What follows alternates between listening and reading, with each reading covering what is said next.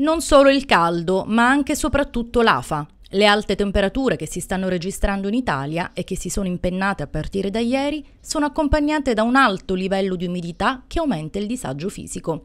Le masse d'aria calda trasportate dall'anticiclone africano attraversando il mar Mediterraneo si caricano di umidità con giorni e notti tropicali. L'anticiclone africano ha acquistato ieri sempre più potenza, avvicinandosi minacciosamente all'Italia. Questa situazione, quantomeno al centro-sud, dovrebbe durare almeno per altri dieci giorni. Al nord, invece, da mercoledì 12 è atteso un indebolimento dell'anticiclone che provocherà i primi forti temporali sulle Alpi.